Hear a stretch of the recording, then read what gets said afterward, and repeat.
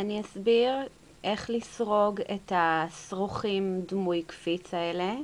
את השרוך הזה סרקתי אה, בתפר של חצי עמוד, ואת השרוך הזה בתפר של עמוד וחצי. למעשה אפשר בדוגמה הזאת אה, ליצור שרוכים אה, בכל, ה... אה, בכל התפרים, אני לא יודעת איך זה יצא עם תפרים ארוכים, אבל עד עמוד זה עוד נראה סבבה לגמרי, במיוחד כשהחוט שמשתמשים בו הוא עבה. מתחילים בלהעלות את החוט על המסרגה. אני מניחה את החוט הקצר לפני החוט הארוך ואוחזת בשתי אצבעות את האזור בו הם מצטלבים. לתוך הלולה מכניסה שני אצבעות ומושכת את החוט הארוך כלפי מעלה. נוצרה לי לולאה שאני יכולה לעלות על המסרגה. ועכשיו אני יוצרת אה, מספר עיני שרשרת עד שאני אגיע לאורך הרצוי של השרוך בצורת קפיץ. בוא נגיד שאני רוצה שהשרוך שלי יגיע לאורך הזה בסופו של תהליך. האורך הזה הוא 5 סנטימטר, קצת פחות. אני סופרת כמה עיני שרשרת סרגתי. 1, 2, 3, 4, 5, 6, 7, 8, 9.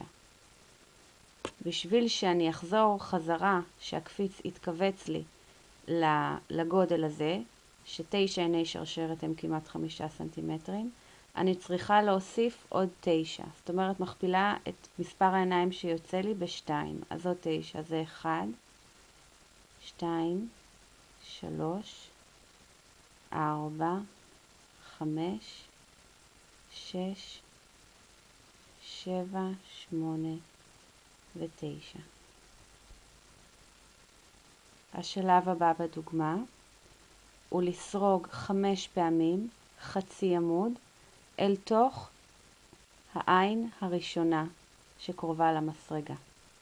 אז אני מתחילה, אני מושכת חוט וסוגרת את שתי הלולאות לחצי עמוד. נכנסת שוב באותו מקום מסיימת חצי עמוד, זה שני תפרים לאותו הראש, תפר שלישי, תפר רביעי, תפר חמישי. כמה שתסרגו יותר תפרים לעין אחת, ככה הטלטל יהיה הרבה יותר מכווץ ויציב. עוברים לעין הבאה, לעין שרשרת הבאה. היא נסגרה מעט בגלל המתיחה של העין הראשונה, אבל אפשר פשוט להשחיל פנימה את המסרגה והעין מורמת. גם לתוך העין הבאה אני אסרוג חמש פעמים תפר של חצי עמוד לאותה העין. חמש.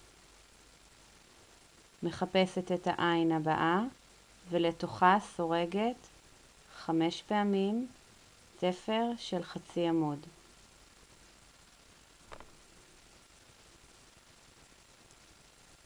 אם החוט עבה, אז uh, זה בדיוק ההפך, אפשר לסרוג פחות תפרים לכל ראש והקפיץ עדיין uh, יהיה יציב ויפה.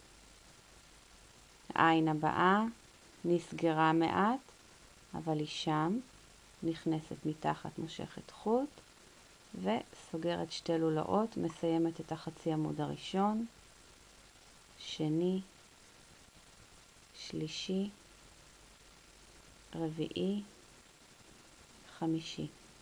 תמשיכו כך לאורך כל השרשרת וניפגש בסוף. סרגתי חמש פעמים חצי עמוד לתוך הראש האחרון. אני אה, תופסת אה, את הקצה של החוט מהשרשרת הראשונה ואת החוט הארוך ביחד, מלפפת מסביב ללולאה וסורגת עין שרשרת אחת, מושכת חוט גבוה עד שהחוט הקצר משתחרר, חותכת את הקצה, מושכת את שני החוטים החוצה. עכשיו נותר רק לסדר בעדינות ובלי למתוח יותר מדי את הטלטל לכיוון של הסריגה.